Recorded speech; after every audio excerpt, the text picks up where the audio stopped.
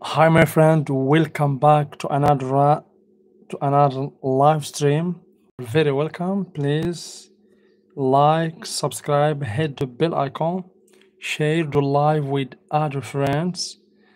After one minute, we gonna start. Basically, in this live stream, I'm going to teach you how to read the schematics. We're gonna deal with schematic reading. So let's wait one minute, two minutes, and get started.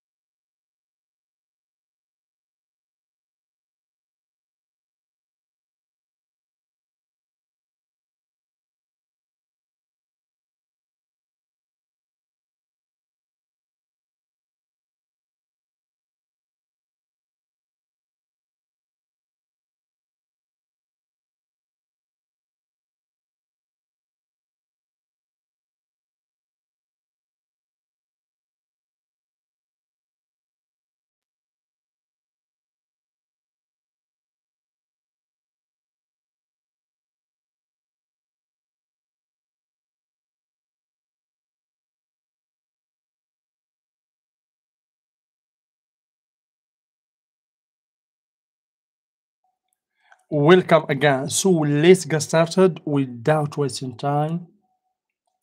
I'm going to teach you in this live about schematics because I get a lot of comment, a lot of questions about how to read basically schematic.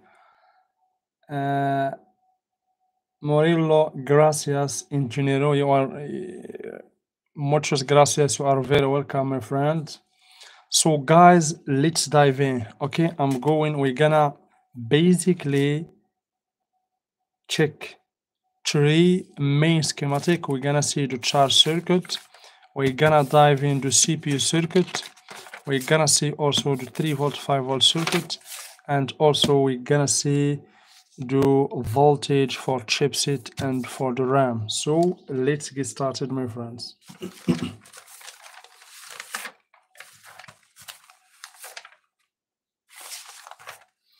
okay, let's begin with the CPU. Okay, the CPU, the master, the heads of any motherboard. So basically, guys, this is the schematic for the CPU. Can you please tell me in the comment, did you see the schematic or I can zoom in a little bit. Guys, did you did you see the schematic please?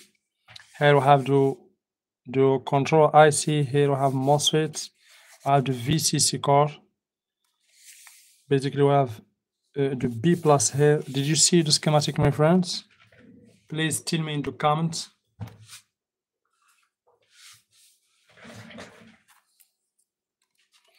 Okay guys, tell me please if the schematic is clear or not.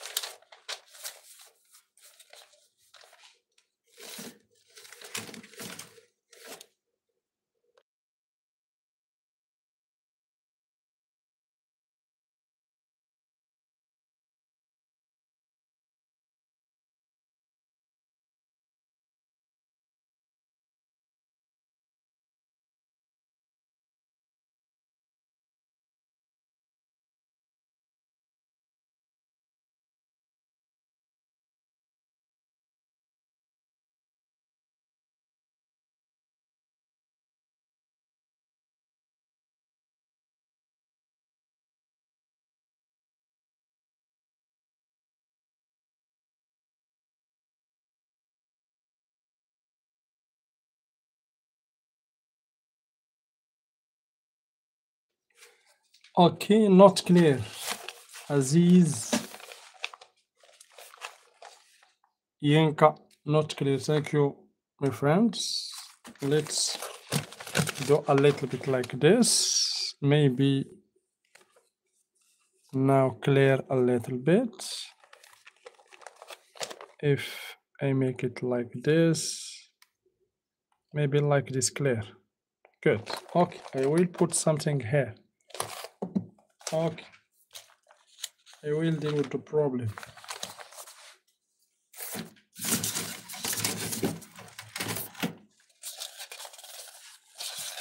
Now maybe it's good.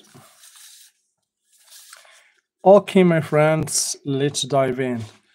So, guys, this is basically the schematic for the CPU that I'm going to teach you right now.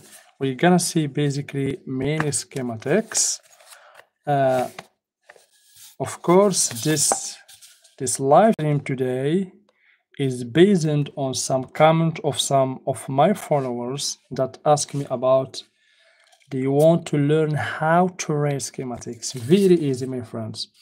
So basically for the schematics, the circuits are a little bit same, the same architecture.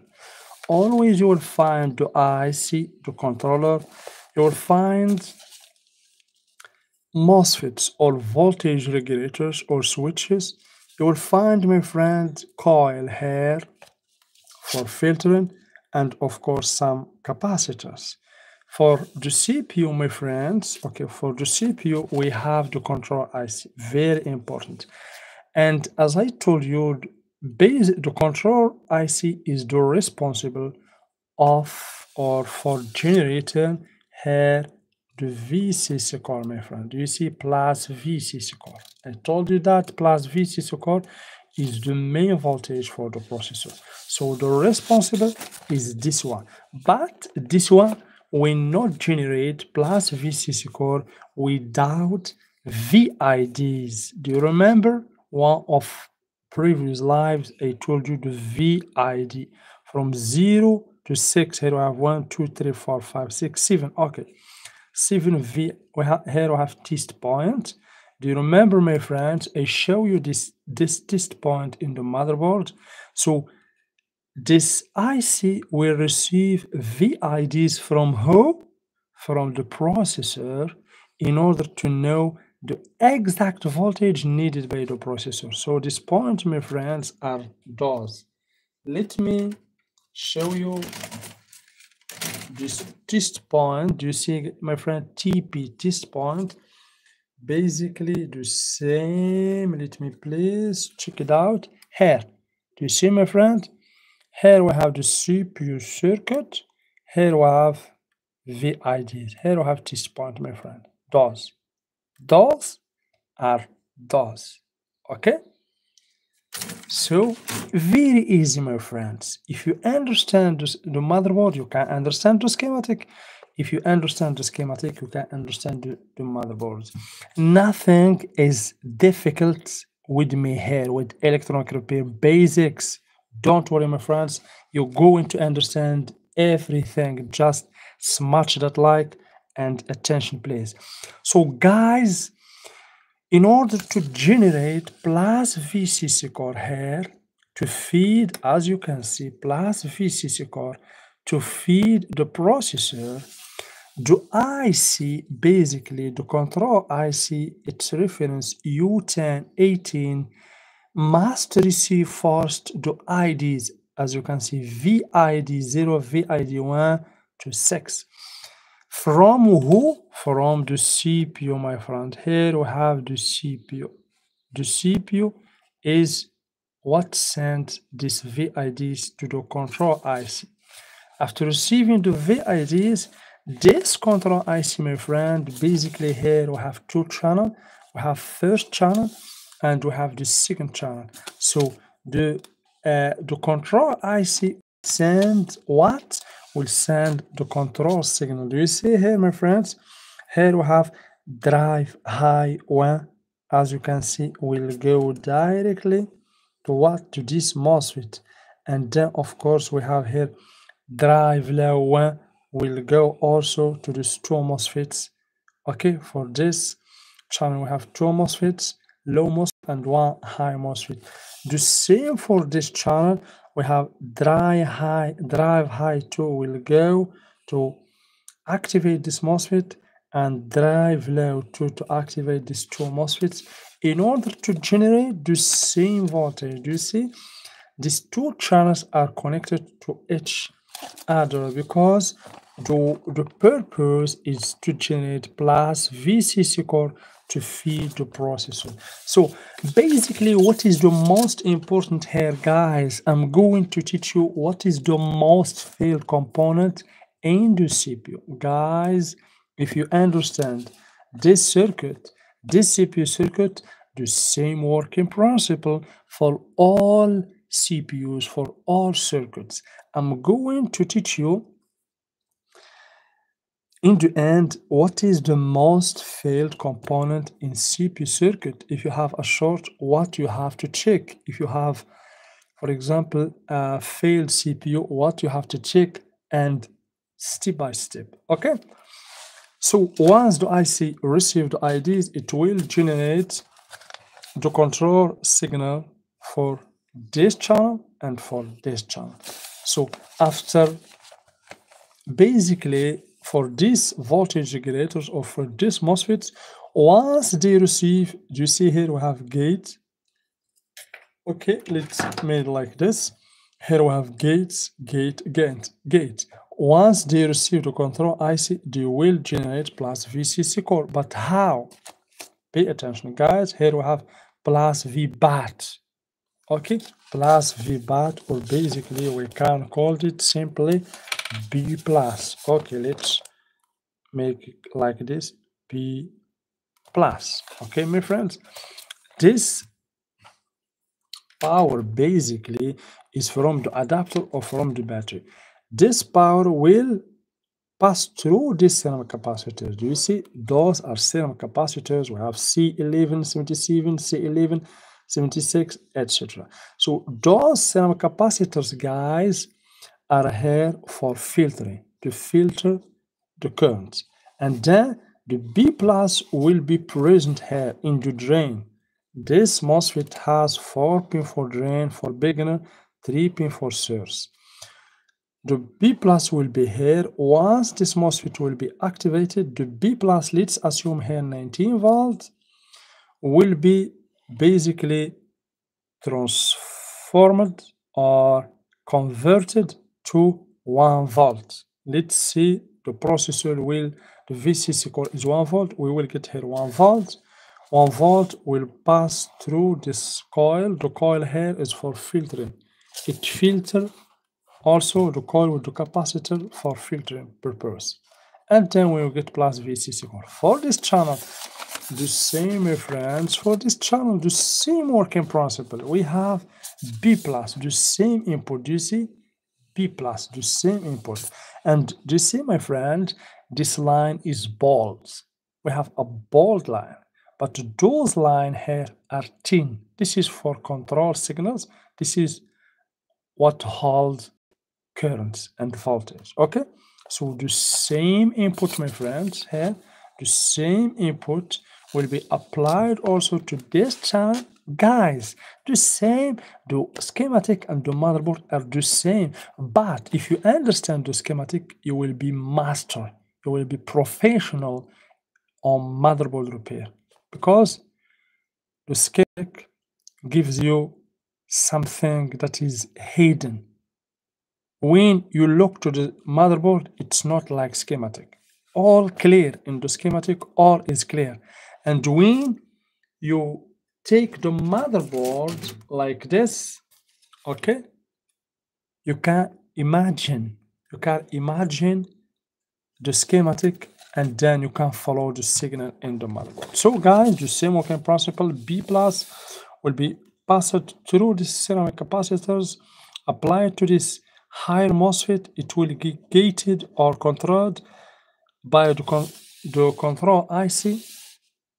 The 19 volt will be here 1 volt, as I told you, because the MOSFET is like a faucet or a tap.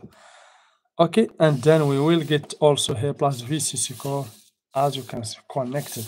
Why guys we have basically here two channels? Because the processor basically one channel is not enough for the processor. It needs two channels three channels four channels or more depending on type of the processor. Okay guys but more channels basically for old processors but for newest two channels are enough guys please pay attention I want to tell you something very important here.